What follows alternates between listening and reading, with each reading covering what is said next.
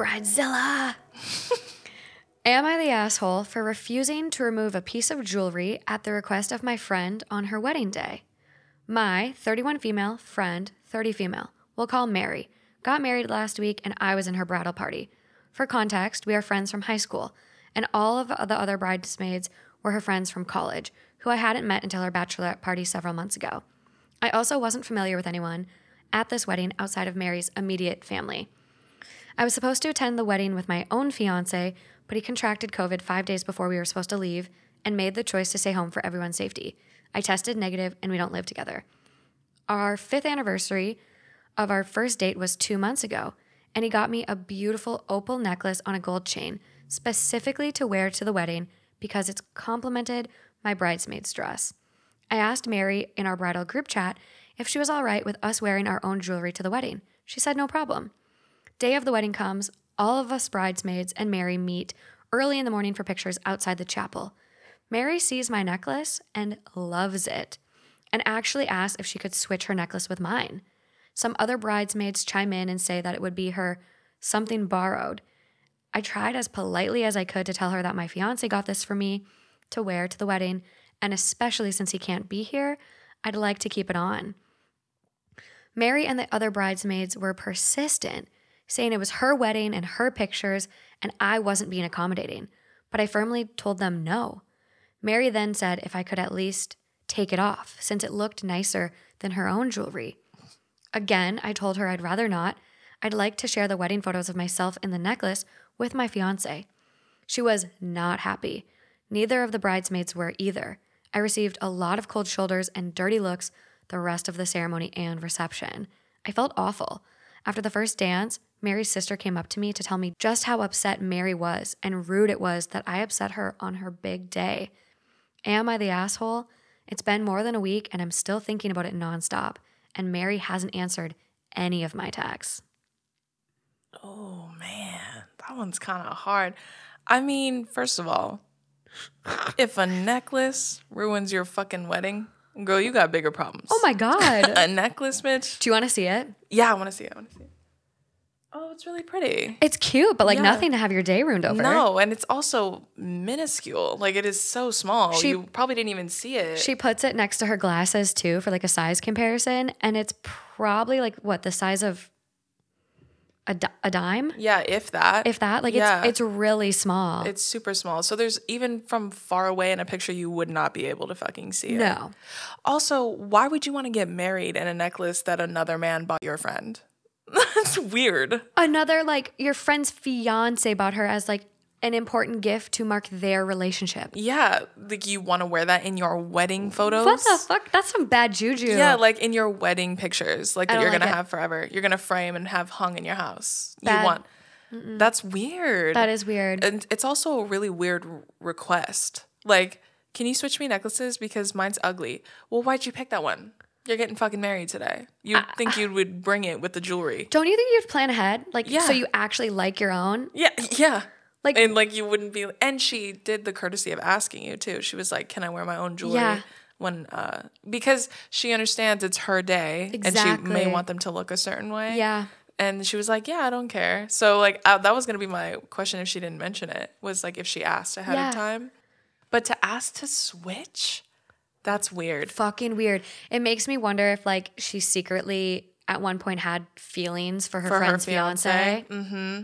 It's always something deeper. It's Because if yeah. it's just that, you're like you're you're Looney Tunes, bro. Like you're you're you're out of your you're off your fucking rocker. If that's Truly. Also, you're gonna let that necklace ruin your wedding day. Like there are so many other things that terrible that could happen. Oh my God. On your wedding day, like there are so many things that could happen that could ruin your day. oh my god, it's the it's The- limitless. Yeah, the the list is endless, which Yes. is why people have so much anxiety around getting married. Like especially if they're like planning it to be Oh, the perfect day. yeah. It terrifies my boyfriend. also to have your friends try and, and try and bully her too like knowing she doesn't know any of them and she doesn't know anyone at the wedding or So anyone at the reception what an awkward position to be put into that's like that bride that bride power that goes too far you know what i Oh. mean because they're like oh everyone say yes to her because it's her day It's her day.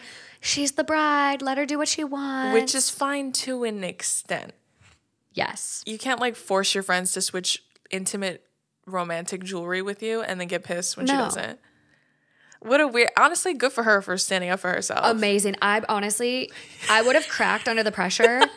I really, I would have cracked. I would have cried. My makeup would have been ruined. Like I would have been distraught, and I would be in the same place as her. Like she's still thinking about it a week later. Yeah. Like I had a call the other day, and I like said an expression I've never said in my life before. Like when it was a professional conversation, I was like, I was like, yeah, I just like really want to establish like a lawyer, just because you know I don't want to get reamed up the butt. And after the call, I was like.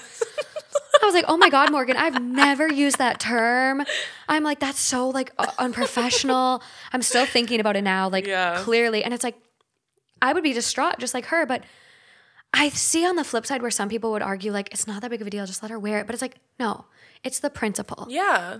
Well, also, you're really kind of putting her on the spot, aren't you? Because it's right when she's about to take pictures. Yes. And right before the actual ceremony, because a lot of times they take the pictures before the ceremony. Right before, yeah. So like it's it's like game time. And so she's like really putting her feet to the fire, like, can I wear it?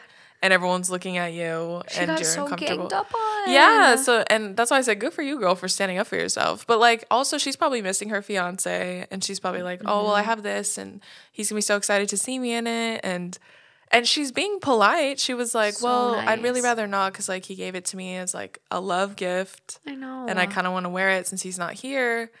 And then she's like, You're gonna ruin my wedding then?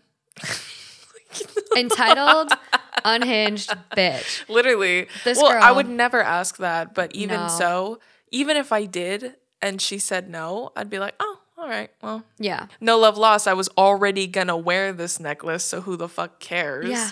And then to say, can you take it off so it doesn't look, it doesn't like outshine me?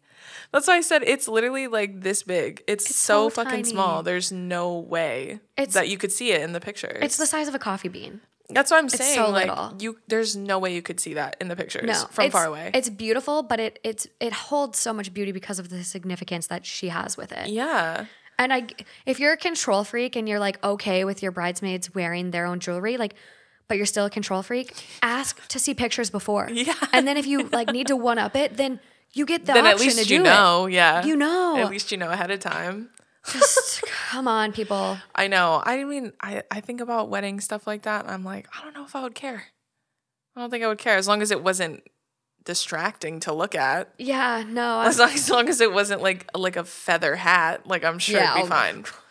I'm sure it'd be fine. fucking like, Big Bird up there. Yeah, literally, day. like standing next to me. That's what I'm saying. Like, at, I think at that point, it'll be fine. I know. Honestly, I'm not.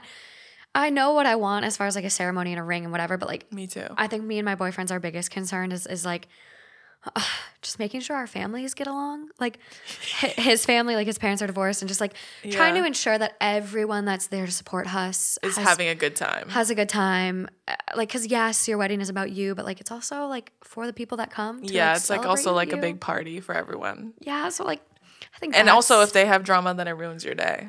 yeah, where it's we're- it's tough. It's really tough. Yeah, my my boyfriend's family's really small, and my boy my family's fucking huge. So we're like kind of good there. But like, it's like my family's gonna make up the majority of the attendance probably I know. to our wedding. But Mine's it's just uh, so disheveled, to say the least. It's it's big, it's disheveled. I got Yeah. a lot out there, so I, I feel that.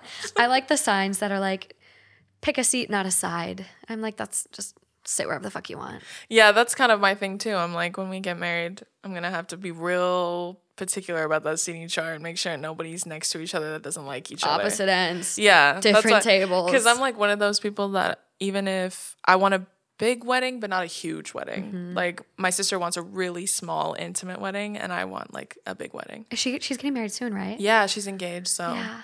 I think next year is when they're getting married. So So, exciting. I know Maid of honor, I take it. Yeah, pretty much. Don't upstage her with a necklace. I know. I'm gonna wear the biggest, gaudiest necklace ever to distract from her day because I'm gonna make sure I'm the main character on her day. Your sister seems so nice that I don't even think she would say anything. yeah, my sister is is the opposite of me in the sense that I'm extremely extroverted and she's extremely introvert introverted. So that's why I'm like, yeah, if I did that, she wouldn't say anything to me. That'd be so mean of me to do. She'd No, be you're- like, you're too nice And she would that. tell me like six months later how much she was upset with me. oh my god. God. That's why I was like, how can I make this day about me? gotta you gotta spice it up a little bit. You know, it can't be it can't go off that easy. Right. You gotta have a little unhinged. in Just your, in your kidding. I would never do that. Yeah, no. Not to your wedding. I'll do it to somebody else's. Yeah. Fuck their shit up.